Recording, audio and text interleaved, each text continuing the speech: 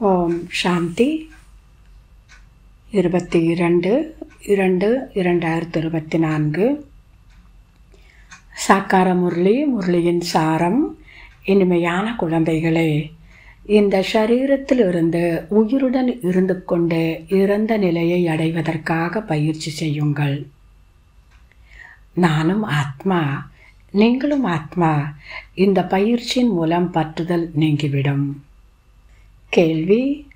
அனைத்திலும் உயர்ந்த லட்சியம் எது? இந்த லட்சியத்தை அடைபவர்களின் அடையாளம் என்னவாக இருக்கும்? அனைத்திலும் உயர்ந்த இலக்கெது அந்த இலக்கை அடையக்கூடியவர்களின் அடையாளம் என்னவாக இருக்கும்? பதில். தேகதாரிகள் அனைவரிடமிருந்தும் மோகம் விட்டு போக வேண்டும்.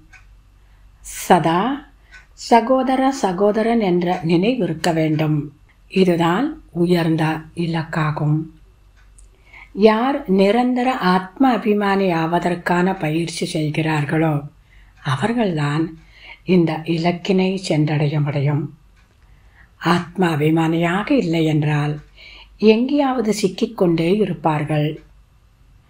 தங்களுடைய தேகத்திலோ அல்லது யாராவது உற்றார் உறவினர்களின் சரீரத்தின் மீது பற்றுதல் இருக்கும்.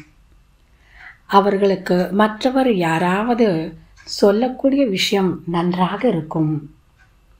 அல்லது யாருடைய சரீரமாவது நன்றாக இருப்பதாக தோன்றும்.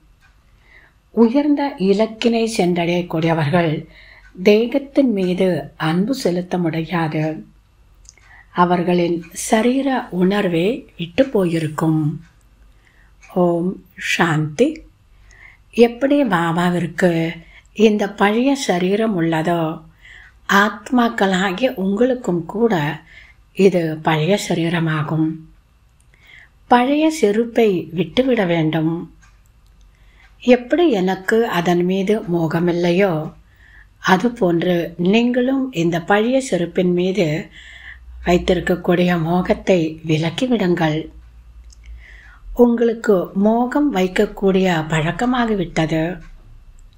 எமக்கு எந்த ஒரு பழக்கமும் இல்லை. அந்த மோகம் வைக்கக்கூடிய பழக்கம் என்னிடத்தில் இல்லை என்று பாபா சொல்கிறார். நான் உயிருடன் இருந்து கொண்டே இறந்த நிலையில் உள்ளேன். நீங்களும் கூட உயிருடன் இருந்து கொண்டே இறந்த நிலையை அடைய வேண்டும். என் கூடவே செல்ல வேண்டும் என்றால் இப்போது இத்தகைய பயிற்சியை செய்யுங்கள். தன்னை ஆத்மா என உணர்ந்து நடப்பதால் எந்த ஒரு தேகதாரி மீதும் மோகம் இருக்காது. அடிக்கடி யாருக்காவது யார் மீதாவது மோகம் ஏற்படுகின்றது. அவ்வளவுதான். அவர்களை பார்க்காமல் அவர்களால் இருக்கவே முடிவதில்லை. இந்த தேகதாரியின் நினைவு முற்றிலும் விடுபட வேண்டும். ஏனென்றால் அடைய வேண்டியது மிக உயர்ந்த குறிக்கோளாகும். உண்ணும் போதும் அருந்தும் போதும் இந்த சரீரத்திலேயே இல்லை என்ற நிலையில் இருக்க வேண்டும். இந்த மனநிலையை உறுதியாக ஆக்கிக்கொள்ள வேண்டும். அப்போது எட்டு ரத்தினங்களின் மாலையில் வர முடியும் கடின முயற்சி இல்லாமல் உயர்ந்த பதவியை பெறுவதென்பது முடியாது. பாபா சொல்கிறார் பக்தி மார்க்கத்திலோ அநேகரை நினைவு செய்து கொண்டு இருக்கின்றனர். இங்கு ஒரே ஒரு ஸ்ரீ பாபா மட்டுமே வேறு யாரும் கிடையாது. பிறகும் கூட யாராவது தன் விருப்பப்படி நடப்பார்கள் என்றால் கத்தி சத்கதி கிடைக்குமா என்ன? பிந்தியை எப்படி நினைவு செய்வது என்று குழம்பி போகின்றனர். ஆத்மா நான் என்ற நினைவிருக்கிறதா இல்லையா? அதுவும் பிந்தி வடிவம்தான். ஆக உங்கள் தந்தையும் பிந்தியாக இருக்கிறார். தந்தையிடமிருந்து ஆஸ்தி கிடைக்கின்றது. அம்மாவும் கூட பிறகு தேகதாரியாகிறார் இல்லையா? அதாவது அம்மாவும் கூட தேகதாரி தானே நீங்கள் இப்பொழுது தேகமற்ற தந்தையிடமிருந்துதான் ஆஸ்தியை பெற வேண்டும். அதனால் மற்ற அனைத்து விஷயங்களையும் விட்டுவிட்டு ஒருவரிடம் புத்தியோகத்தை ஈடுபடுத்த வேண்டும். நல்லது. தாரணைக்கான முக்கிய சாரம். முதலாவது சரீர உணர்வை விடுவதற்காக நடமாடும் போதும் சுற்றி வரும்போதும் அபியாசம் செய்ய வேண்டும். இந்த ஷரீரத்திலிருந்து இறந்து நான் விடுபட்டு இருக்கிறேன் என்பது போன்று. சரீரத்தில் இல்லை. சரீரம் இல்லாமல் ஆத்மாவை பாருங்கள். இரண்டாவது ஒருபோதும் எவருடைய சரீரத்தின் மீதும் நீங்கள் ஆசை வைக்கக்கூடாது. ஒரு விதேகியாகிய தந்தையிடம்தான் அன்பு வைக்க வேண்டும். ஒருவரிடம்தான் புத்தியோகத்தை ஈடுபடுத்த வேண்டும்.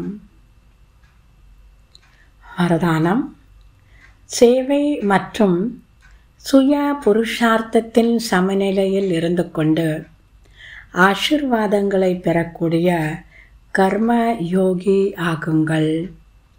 சேவை மற்றும் சுய முன்னேற்றம் இதனுடைய சமநிலையில் இருந்து கொண்டு ஆசிர்வாதங்களை பெறக்கூடிய கர்மயோகி ஆகுங்கள்.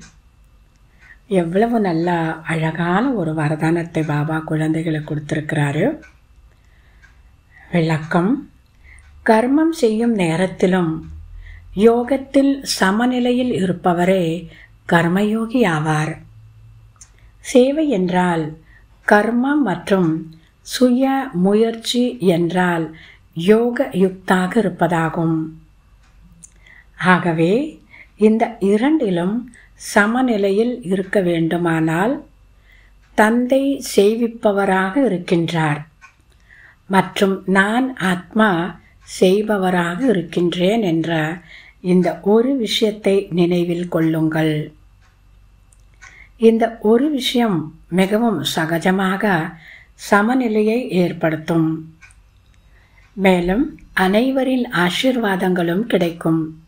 தன்னை செய்பவர் என்று புரிந்து கொள்வதற்கு பதிலாக செய்விப்பவர் என்று புரிந்து கொண்டால் சமநிலை ஏற்படாது. மேலும் மாயா தன்னுடைய வாய்ப்பை அதை ஏற்படுத்தி கொள்ளும். இன்றைய முரளியனுடைய அழகான ஸ்லோகன் பாப் தாதாவை தனது கண்களில் நிறைத்து கொண்டு மற்றவர்களை பார்வையினால் திருப்திப்படுத்தும் சேவை செய்ய வேண்டும். பாப்தாதாவை தனது கண்களில் நிறைத்து கொண்டு மற்றவர்களை பார்வையினால் திருப்திப்படுத்தும் சேவை செய்ய வேண்டும். நல்லது. இனிமையிலும் இனிமையான ஐயாயிரம் வருடங்களாக காணாமற் போய் மீண்டும் கண்டெடுக்கப்பட்ட செல்ல குழந்தைகளுக்கு தாய் தந்தை பாப் தாதாவின் அன்பு நினைவுகள் மற்றும் காலை வணக்கம். ஆன்மீக குழந்தைகளுக்கு ஆன்மீக தந்தை நமஸ்காரம். ஆன்மீக தந்தைக்கு ஆன்மீக குழந்தைகளின் நமஸ்காரம். ஓம் சாந்தி.